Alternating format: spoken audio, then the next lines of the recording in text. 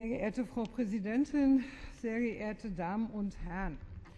Frau Bentele, auch wenn Sie das Mantra ähnlich wiederholen, die Haushaltsnotlage, in der uns der rot-schwarze Senat hinterlassen hat, hat genau diesen, diese Folgerung gehabt. Und falls Sie das vergessen haben, möchte ich Sie daran erinnern. So, jetzt mal zu den Anträgen hieß der Ursprungsantrag der Linksfraktion noch keine verdeckte Arbeitszeiterhöhung für Lehrkräfte. So heißt der Änderungsantrag der Koalition nun transparente und schnelle Regelungen zur Abgeltung der Arbeitszeitkonten. Was fällt damit unter den Tisch? Die Arbeitszeiterhöhung für Lehrkräfte aus dem Jahr 2003 wird ohne adäquaten Ausgleich zementiert. Das hat Herr Ober gerade bestätigt. Die Arbeitszeitkonten, die dazu gehörten, werden ohne gerechten Ausgleich beendet. Und das ist eben kein Ausgleich, Herr Oberg, wenn die Altersermäßigung, die ebenfalls 2003 abgeschafft wurde, wieder eingeführt wird. Das begrüße ich natürlich, aber das sind zwei verschiedene Paar Schuhe. Da wurden den bildungspolitischen Sprecherinnen und Sprechern säckeweise Protestschreiben von Lehrerinnen und Lehrern und dicke Mappen mit Protestschreiben von Kolleginnen der Schulen alle an Frau Scheres gerichtet, übergeben.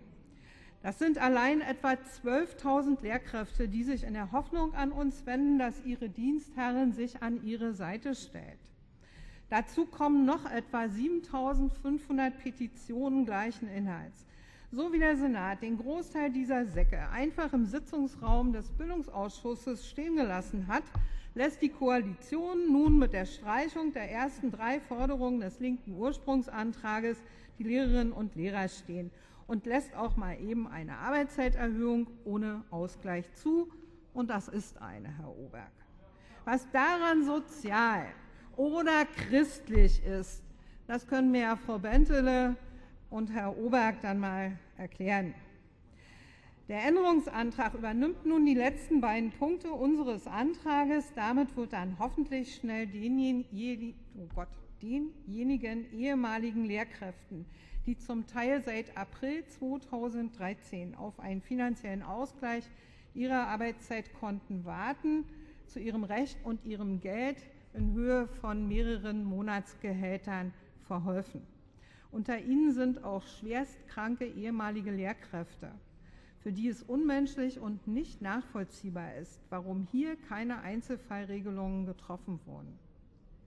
Auch übernommen wird die Forderung, endlich die Beschäftigtenvertretungen zu beteiligen bzw. anzuhören, dass im öffentlichen Dienst diese elementaren Rechte bisher nicht eingehalten wurden, entspricht weder der Fürsorgepflicht noch der Vorbildfunktion Dienstherr bzw. Frau haben. Und hier ist auch der Innensenat angesprochen.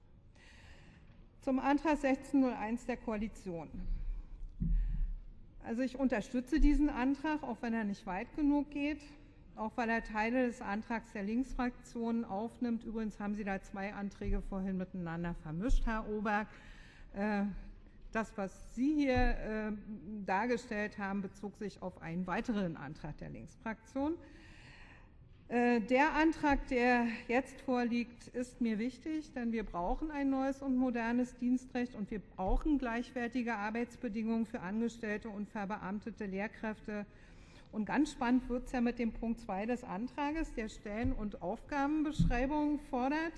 Also wenn dieser erfüllt wird, wird vielleicht auch für die Öffentlichkeit einmal deutlicher dargestellt, was hier eigentlich an Arbeit durch eine Lehrkraft alles zu leisten ist. Und das würde auch eine Debatte darüber möglich machen, wie viel Arbeitszeit einer engagierten Lehrkraft in der Woche eigentlich zuzumuten ist. Die geht nämlich in der Regel weit über 40 Stunden hinaus, sodass, sie, sodass viele Lehrkräfte eine volle Stelle auf Dauer überhaupt nicht besetzen können, wenn sie nicht krank werden wollen. Wir haben gegenwärtig 1400 dauerkranke Lehrkräfte. Und warum wohl arbeiten in diesem Schuljahr ein Viertel aller Lehrkräfte in Teilzeit oder verkürzt? Hätten wir zur Stellen- und Aufgabenbeschreibung schon ein Ergebnis, wäre die Debatte zu den Arbeitszeitkonten und ihrer geplanten ungerechten Beendigung vielleicht anders ausgegangen. Unterm Strich bleiben hier zwei zentrale Forderungen. Durch die heute zu erwartende Beschlussfassung werden die unerfüllt bleiben. aber wir bleiben mit diesen Forderungen. Erstens, schließen Sie die Gerechtigkeitslücke zwischen Tarif und Besoldung und beenden Sie die Mehrklassengesellschaft in den Lehrerzimmern. Zweitens, beenden Sie die Arbeitszeitkonten gerecht und ohne Arbeitszeiterhöhung. Werden diese Forderungen nicht erfüllt, wird sich die Bewerberinnenlage in Berlin nicht verbessern und es wird auch keinen Schulfrieden im Land geben.